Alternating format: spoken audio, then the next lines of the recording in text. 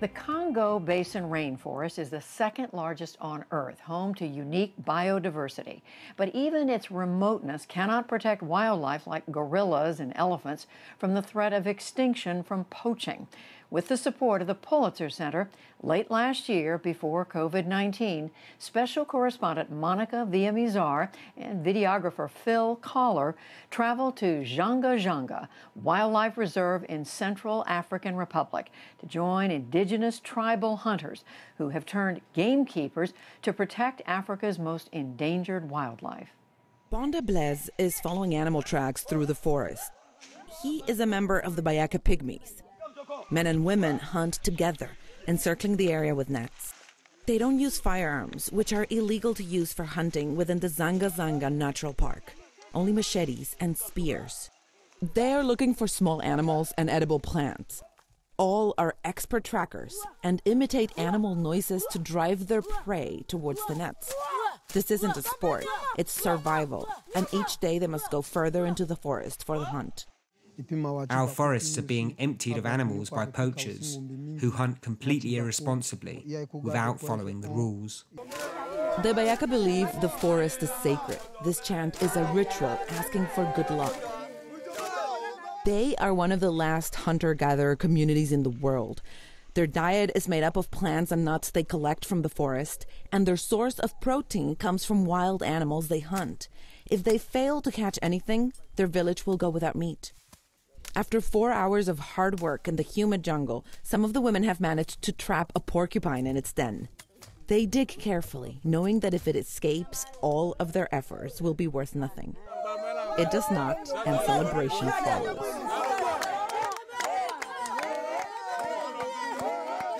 Back at the village, Blaise shows us his home. His community was traditionally nomadic, but now lives in a settlement at the edge of the forest. They have few employment prospects and are seen as the lowest class of ethnic groups in the area. I live here with my wife and five children. Tomorrow morning I'll leave home early to go to my job as a park ranger. Working as a park ranger is one of the few jobs on offer to the Bayaka. The natural park is divided into areas. Most of it is off limits to loggers and all types of hunters, sport hunters and poachers but a few areas have been designated for traditional hunt, which is what the Bayaka do, hunting for sustenance. Dzanga Sangha is one of the remaining sanctuaries for species like the forest elephant, pangolins, and gorillas, all highly prized by poachers.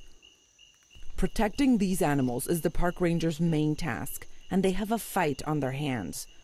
Colonel Christian Nadet, one of the chief rangers in the park, says poaching has caused major damage to the animal population, and seizures of ivory, pangolin scales, and illegal weapons have gone up 80% in the last five years. Poaching is carried out both by well organized armed criminal gangs and by local villagers trying to make a fast buck. Does it trap gorillas and, and like their hands, I heard, right?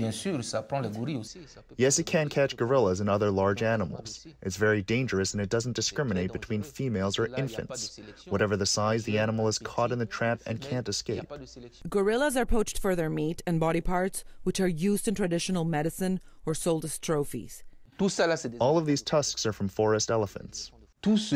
Our park rangers are the only thing that continues to guarantee the natural richness of this area. The Rangers program is one of the first to incorporate local community members like the Bayaka. It's a multi agency partnership. The Rangers are employed by the government and supported by the World Wildlife Fund and an anti poaching nonprofit called Chengeta. The founder, Rory Young, recently introduced Dutch trained Cocker Spaniels to detect ivory, weapons, and illegal bushmeat. They know that means they're going to go and work, which to them is play. So they're going to run in there um, in a hurry, like, let's go, let's go, let's go. Today, Blaise's unit and the two dogs, Bobby and Mitch, are searching for contraband at a checkpoint.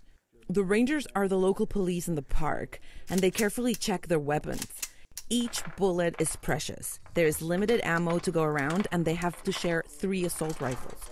Blaise and his unit have come under fire by poachers several times. It's a high risk job. Freddy, the dog handler, practices the search before the real work begins. I love my work here. This job helps me feed my family. My parents are really proud. The dogs help the rangers a lot, but they also have a psychological effect because the community will start speaking and it will spread by word of mouth that there are these trained animals that can detect illegal goods. And this dissuades people from poaching. Each ranger makes $150 a month, which is three times the average salary in the Central African Republic. Deep in the Dzanga Sangha forest are the critically endangered lowland gorillas. Bayaka trackers are helping scientists study the gorillas with their local knowledge of the forest and their ability to locate the elusive primate. From now on, we have to be really, really quiet because we're getting very close to them. The exact number of these animals left in the wild is unknown, but scientists estimate that hunting, logging, and disease have wiped out more than 60% of the population in the last 20 years. It's a perfect storm of destruction facing not only the gorillas, but the forest elephants and many other species, and these forests as a whole. Gorilla meat is sold in the market. Some people think it will give them the animal strength.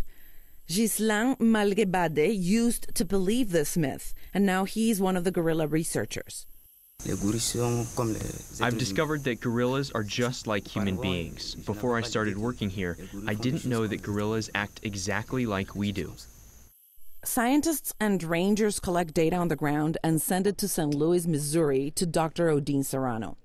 A former NASA scientist, she plots on a map the information from the ranger patrols, weather satellites, and data from GPS collars placed on elephants and gorillas. The novelty is the correlation between wildlife trafficking and intelligence um, gathering and um, execution. This research is helping to predict where poachers are likely to strike, allowing the rangers to better deploy their forces. After a several hours trek through dense jungle and across rivers, the forest gives way to a huge clearing, Zangabai, or the village of elephants. Unlike their savanna cousins, the forest elephants have denser tusks, which fetches a higher price on the black market. They have come to Zangabai to access mineral salts in the mud to prevent them from dehydration. There can be hundreds of elephants in the bay at a given time. So, elephants are are a keystone species. Mm. So many other species depend on them being in the forest. And we depend on these forests. I mean, the air we breathe comes from these trees. Poachers sell these tusks for up to $2,000 a gram. The coveted pink ivory is mostly destined for markets in Asia, the US, and Europe.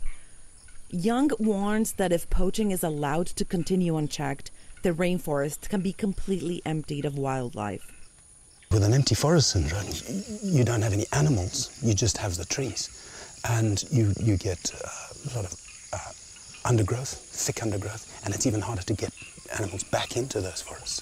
Last year, poaching trends started to decrease thanks to the ranger program, according to Young. But it's a constant battle to stay one step ahead of the poachers. For the PBS NewsHour, I'm Monica Villamizar in the Central African Republic.